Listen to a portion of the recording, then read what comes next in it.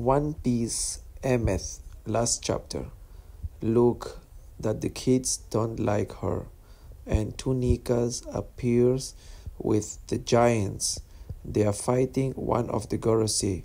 So they join their power and invent a new power to beat the Gorosei. So the Luffy is fighting with his team and you create a new power fighting the five Gorosei. Only Luffy can beat them. Then appear the giant robot MS. Next episode.